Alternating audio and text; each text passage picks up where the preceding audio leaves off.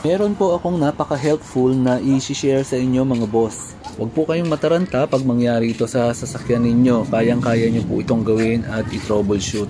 Kapag nawala po yung mga ilaw sa cluster gauge ng mga sasakyan ninyo, pag nag-turn on po kayo ng ignition tulad ng nangyari dito sa aking Nissan Sentra N16, pero nag-start pa rin po ang makina tulad nito. I-start po natin.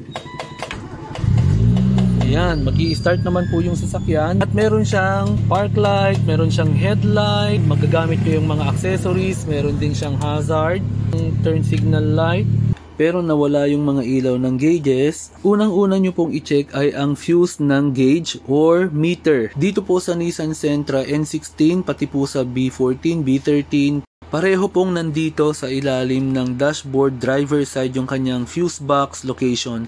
Tanggalin nyo lang po yung takip niya at makikita nyo po dito sa kanyang cover yung exact location po ng meter fuse. Dito po sa Nissan Sentra N16, nandito po yung kanyang meter fuse, pangalawa from right, diyon sa baba po. And ayun, busted nga po itong meter fuse, so papalitan po natin ng fuse na kapareho ng amperahe niya. Kung ano lang po yung designated na amperahe, yun lang po ang gamitin natin. Makikita naman po natin yan sa fuse cover.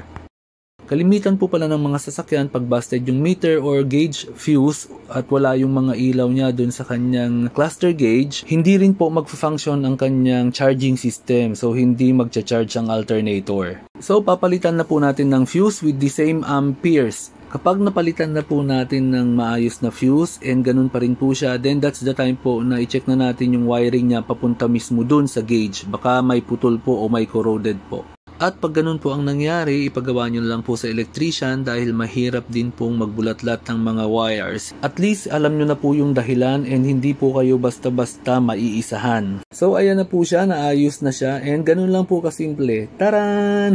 Please don't forget to like and follow my page po and subscribe din po kayo sa YouTube channel ng Nab Costumes and hit nyo yung notification bell para updated kayo sa mga videos na ilalabas natin. And mag-comment po kayo and share my videos po. Maraming salamat po Nab Costumes.